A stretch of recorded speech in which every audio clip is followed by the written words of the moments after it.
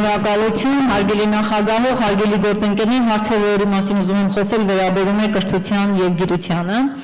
Պարոն Մկրտչյան, դուք որպես նորանշանակ նախարար եւ կրթության եւ գիտության համակարգի մարդ խոսեցիք 12-ամյա կրթության մասին եւ նաեւ մագիստրատուրայի կրթության մասին։ Բնականաբար բոլորիս է հայտնի, որ 12-ամյա կրթության համակարգը համակարգը այնքան էլ դեղացուցիչ չէ, մանավանդ այնպիսի երկրում ինչպիսին Հայաստանն է, որը խիստ սոցիալական է եւ այնքան էլ հեշտ չէ երեխաներին 12-ամյա կրթության տալը, որը բացարձակ բացարձակապես մասնագիտական կրթություն չի տալիս եւ դուք ճիշտ դիտարկում եք արել եւ ես ուզում եմ որ դրա մասին դուք խոսեք որ ավագ դպրոցը պետք է մասնագիտական ուղղվածություն տա իսկ մեզ մոտ դա չի արվում եւ դրանից զա ծնողները փաստորեն ավելի շատ բարեխոսում են տնօրենների հետ որպեսզի երեխաները ավագ դպրոց չգնան եւ փորձեն մեր մասնագիտ մեր այսպես առարկաներ պարապեն եւ կարողանան ընդունվել բուհեր ինչ եք կարծում վերանայման ինչպիսի մոտեցում կա ինչի մասին որ դուք խոսում էիք, կարծում եմ, որ մի փոքր խոսելը կարծում եմ, որ դրան այսպես բացելու եւ քննարկման առարկա պետք է դասենք, որովհետեւ նոր ուսումնական տարին շուտով կգա, եւ երկրորդը մասնագիտական փաստորեն ասել կոամյակրթության այդ ծանր բեռը, որպեսի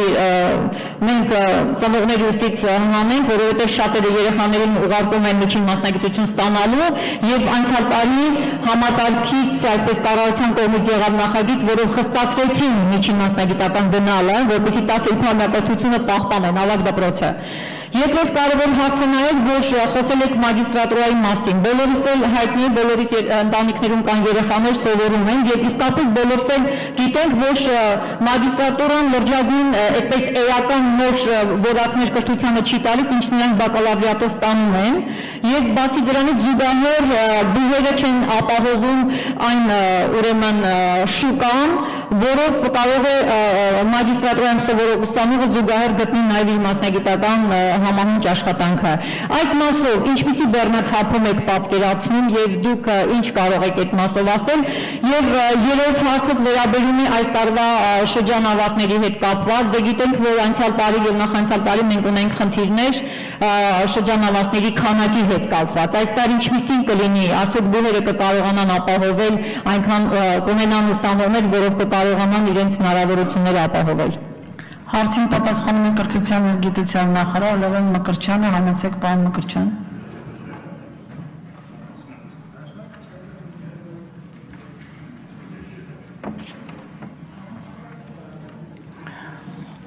Հարգելի Կինաղդալյան,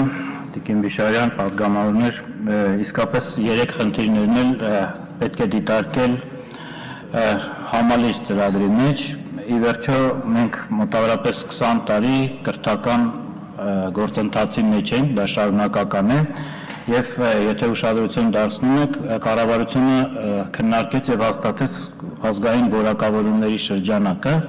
որտեղ մենք փորձելու ենք կրթության յուրաքանչյուր աստիճանին տանք որակավորման հստակ միջազգային կարգավիճակ, որից հետո պետք է անցնենք ազգային կրթական համակարգի ձևավորմանը։ Այսօր մենք ունենք չափորոշիչային համակարգ, ունենք օրենսդրական դաշտ եւ արդեն իսկապես կա բոլոր նախադրյալները ձևավորելու կրթության ազգային պետական համակարգը, կրթակարգը, որտեղ երկու կարևոր հիմնախնդիրներ, որոնք դուք ասացիք, այդ որակավորումների ընդհանուր շրջանակում կարիք ունեն լրացուցիչ մշակման։ Մեկը դա ավակ դպրոց վերջի 3 տարվա հանրակրթության ուսման գործընթացն է, երկրորդը, որը ապահովում է նաև դեպի մասնագիտական կրթություն անցումը, երկրորդը արդեն բակալավրիական կրթությունից դեպի գիտություն եւ դեպի աշխատաշուկա ավելի պրոֆեսիոնալ բարձր որակավորում ունեցող մասնագետների անցման գործընթացն է։ Սա ընդհանրապես կրթական համակարգի ամենանուրբ հատվածներն են եւ այսօր մենք ունենք Հայաստանի Հանրապետությունում այն վիճակը, երբ ունենք ավակ դպրոցներ, ունենք միջնակարգ դպրոցներ, որտեղ մենք նույն երամյա կրթական ծրագիրը իրականացնում ենք եւ խնդիրը դրված է, որպեսզի կարողանանք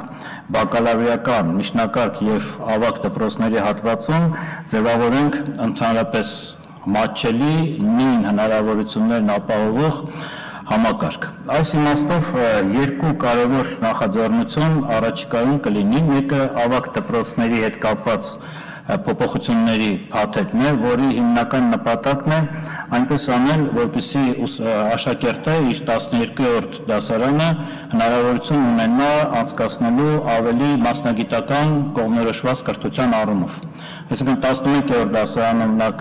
պետք է ավարտի իր կողմնորոշումները, այնուհետև նա պետք է կարողանա այդ ողջ ժամանակահատվածը 12-րդ դասարանին նվիրել իր հաջորդական կրթությանը։ Իսկ երկրորդ բլոկը, որտեղ դուք ասացիք, ներկայացվելու է երևի արդեն հունիսի վերջին կսկսենք հանրային քննարկումները բարձրագույն կրթության օրենքի նոր նախագիծը, որտեղ շեշտադրումը կտրուկ կատարվելու է դեպի համասարանական ինքնավարություն, ֆինանսավորման նոր մեխանիզմներ եւ կրթական բարձրագույն կրթական համակարգի բարեփոխումներ։ Դա ամեն ինչը կներկայացնենք ազգային ժողովին եւ կլինեն վստահ եմ քննարկում։ Արձագանքի համար առաջին խոսափող Պարոն Մկրտչյան, հնարավոր համարում եք, որ 12-ամյա կրթության այդ ժամանակահատվածը կրճատվի, եթե նայենք, ես հասկանում եմ, որ միջազգային կրթության համապատասխանեցման խնդիր կա, բայց նաև եթե ուշադրենք ԵՏՄ-ում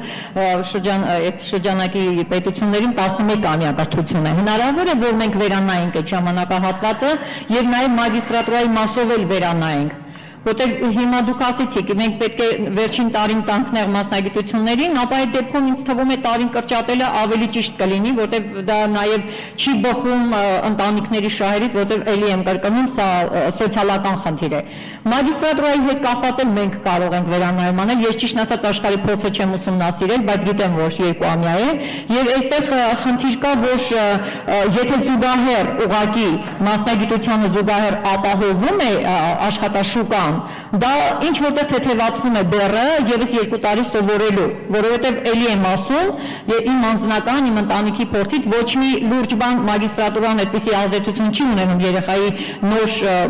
ուրեմն ունեցած կրթությունը համալրելու, լրացնելու, ավելացնելու եւ այլն։ Եվ երրորդ հարցը, եթե իհարկե ժամանակը կբավարարի այս տարվա ուսանողների քանակը տարբերվելու է էականորեն նախորդ տարվանից, որը մենք գիտենք թե նախորդ տարի ինչպիսին է եղել։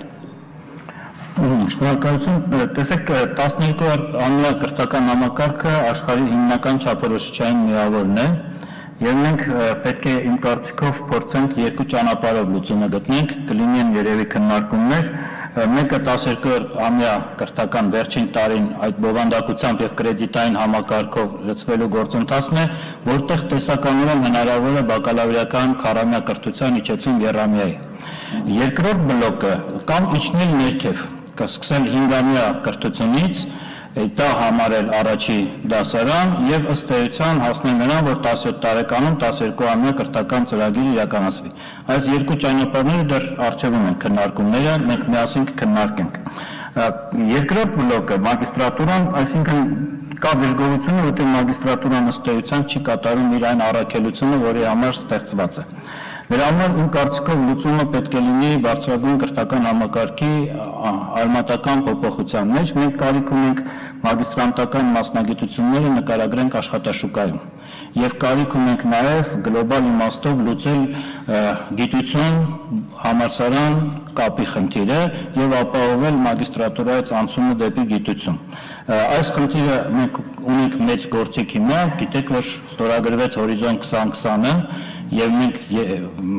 16 երկրներից մեկն ենք, որ անդամակցել ենք այդ հզոր կազմակերպությանը, կկարողանանք այստեղ անհրաժեշտ ռեսուրսներ գտնել։ Ինչ վերաբերում է ձեր մյուս խնդրին, հասցնում ասեմ, շրջանավարտների մասով, մենք համարյա նույն պատկերն ունենք անցյալ տարվա հետ համեմատած մոտ 400 ուսանող դիմորդ են այս պակաս ընդամենը